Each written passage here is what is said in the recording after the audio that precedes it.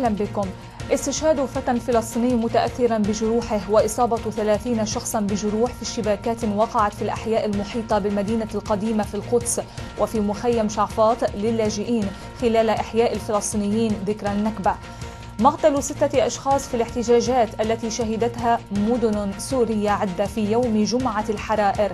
وبموازاة ذلك أعلن وزير الإعلام السوري عدنان محمود أن سوريا ستشهد خلال الأيام المقبلة حوارا وطنيا شاملا في كل المناطق. وفي ردود الفعل الدولية أعلنت وزارة الخارجية البريطانية أنها استدعت سفير سوريا وهددت بفرض عقوبات جديدة. كما أعربت الولايات المتحدة عن سخطها لاستمرار القمع الدموي للتظاهرات في سوريا. كذلك طلب أعضاء في مجلس الشيوخ الأمريكي الرئيس أوباما بدعوة نظيره السوري بشار الأسد إلى التنحي مؤكدين أن الأخير فقد شرعيته بسبب قمعه بعنف التظاهرات المناهضة له. أكثر من مليون شخص يشاركون في احتجاجات مطالبة بتنحي الرئيس اليمني علي عبد الله صالح في الوقت الذي واصل فيه صالح تحديه للمطالب الشعبية ووصف خصومه السياسيين بأنهم قتلة وقطاع طرق. المجلس الأعلى للقوات المسلحة في مصر يحذر من أسماها بالفئة الضالة.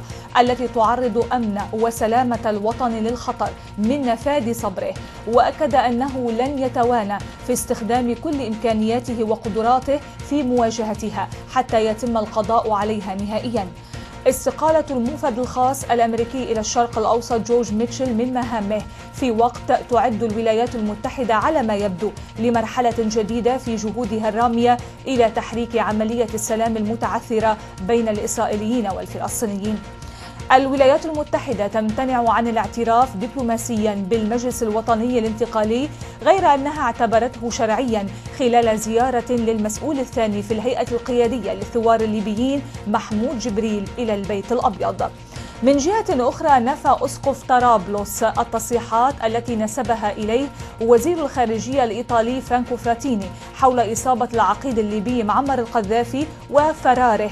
وكان القذافي أكد في تسجيل صوتي بثه التلفزيون الليبي إنه لم يصب بسوء وأنه آمن في موقع لا يمكن أن تصل إليه قنابل حلف شمال الأطلسي. للتفاصيل زوروا موقعنا القدس دوت كوم. إلى اللقاء.